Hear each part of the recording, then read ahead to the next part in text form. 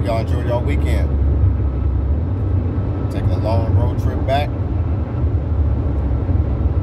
to where I reside.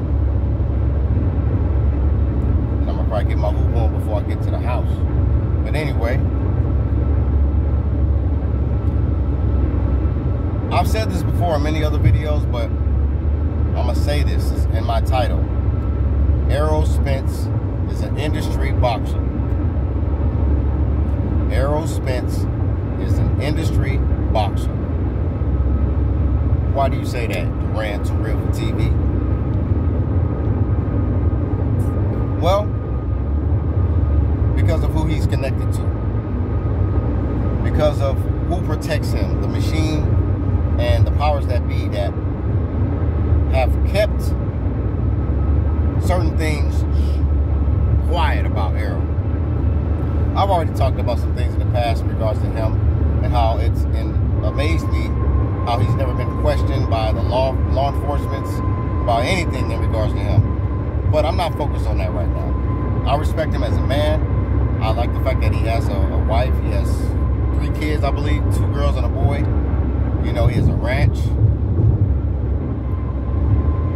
And he's doing better with his life. He's being a little more responsible.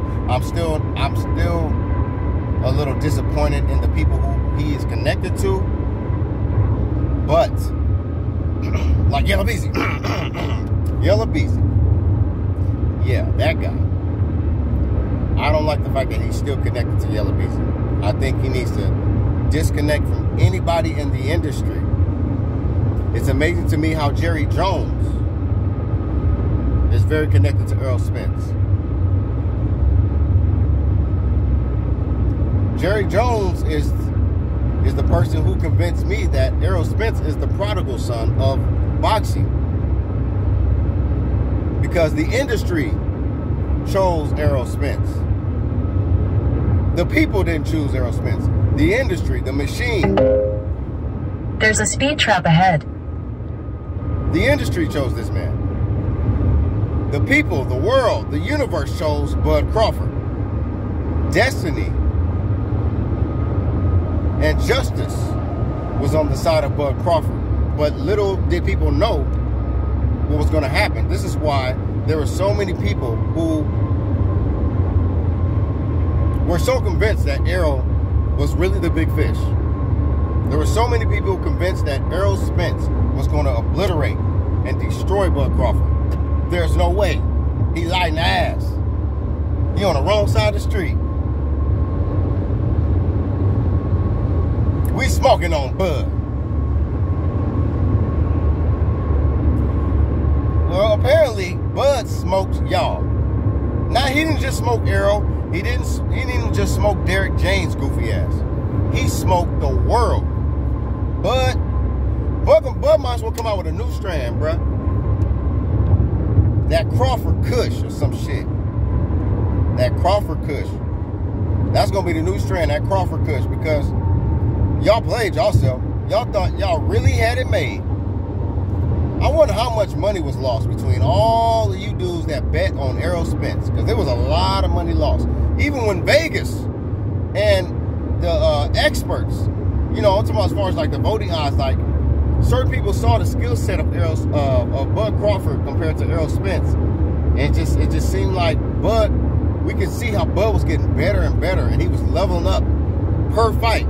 For so if he had a more of a better threat to him, and it was an opponent where the world was predicting that he was going to lose to, he'll level up, and then he'll destroy that person to where it's like, damn. But I've been watching him since when he fought Gamboa. I said, yeah, this dude's special. He just had that dog in him, that it factor in him. And I'm not gonna ever underestimate that in anybody. Especially when he can when you consistently show it over and over and over again, that's when you gotta kind of respect it. Like, yeah, this nigga, he's, he's him. Bud is him. So Bud, Bud Crawford go, he gonna come out with that Crawford Kush on y'all. Because Errol got got smoked. Ain't no more smoke. Errol said he want all the smoke. Ain't no more now. Bud is all of the smoke. This is why his nickname is Bud. See how the spirit worked? Before this was even in the play, he was named Bud when he was a kid, not knowing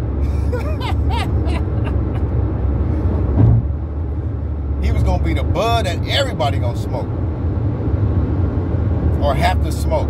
You gotta smoke on that bud now because bud got the whole world talking about him, don't they? When the whole world was hating on him and the whole world was trying to glorify and uplift Errol Spence, the industry boxer, little did they know Bud Crawford, Terence Bud Crawford, was the real chosen one. The last dragon, dog. Y'all ever seen The Last Dragon? Bud Crawford is Leroy. He got the glow. You heard it. You see, he tapped in. He was, what was he playing? Warming up till the Errol Spence fight. The music, when he was in the back in the training room, getting warmed up, hitting the mitts. The Last Dragon was playing because he already locked in. Errol's not locked in. He's a kid in the mind. Bud ain't playing out here. Bud know he has a purpose.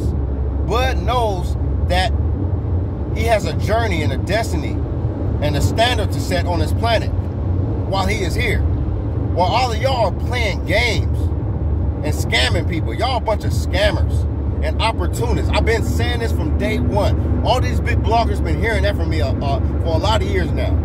It's a lot of opportunists out here. And all of you opportunists, opportunists are being exposed. Y'all getting exposed. And those of us, we sitting back, we smiling, we laughing because we know we get the last laugh in the end. Violence, hate, and negativity does not last long. It's not gonna uh it's not gonna um be prosperous for a long period of time. But at the end of the day, the truth prevails. I respect the fact that Errol Spence manned up. I respect the fact that Errol Spence didn't make no excuses for how he lost and why he lost. The Errol Spence fanboys are the ones that's making all the excuses for their industry boxer. But y'all gonna have to cut it out. Cut it out because y'all y'all looking real bad. Y'all look like the weak, immature, lame ass men who are making things hard harder for uh, good, respectable men. But a lot Two PBC people got humbled over the weekend. Jermall Charlo, he ain't gonna be bumping his gums no more. And Errol Spence, he ain't the big fish no more. Over and out.